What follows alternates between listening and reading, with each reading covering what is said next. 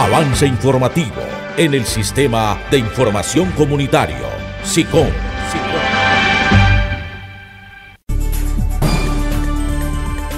Con el saludo cordialísimo para todos nuestros televidentes del Sistema Informativo Comunitario Telesicón. Mucha atención.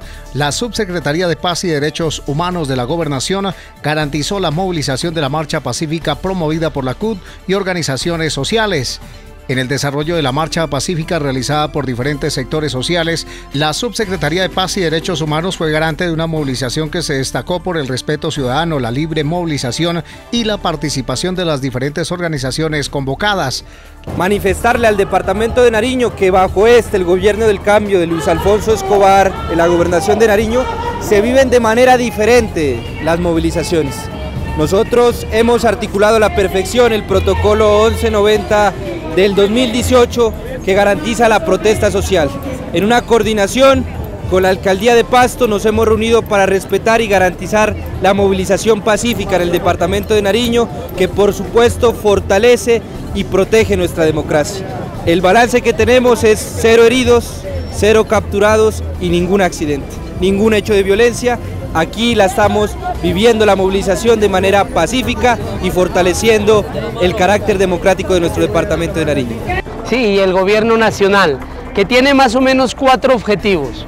Uno es eh, un rechazo a la política eh, discriminatoria y de, de punidad que tiene la Fiscalía al pretender juzgar a la Federación Colombiana de Educadores por haber entregado unos recursos a la Colombia humana en el marco de la política electoral que pretendía eh, lo que nosotros finalmente logramos, que fue la presidencia de Gustavo Petro.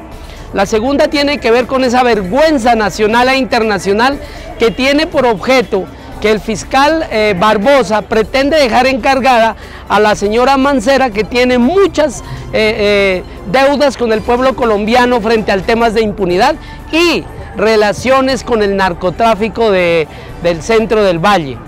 Y la otra tiene que ver con todos los problemas derivados de, la situación educativa en los departamentos y que necesita pues que los gobiernos departamentales y municipales eh, tengan que resolver. Y por último, lo que tiene que ver con paz total, es darle un espaldarazo, un apoyo al gobierno nacional y también al gobierno departamental para que los objetivos de la paz total se hagan posible. Es un momento histórico en el país, momento histórico porque tenemos un gobierno elegido por el pueblo, un gobierno que le está cumpliendo al pueblo colombiano y que hay un sector de la sociedad colombiana que se opone y que se resiste a que se den los cambios en nuestro país.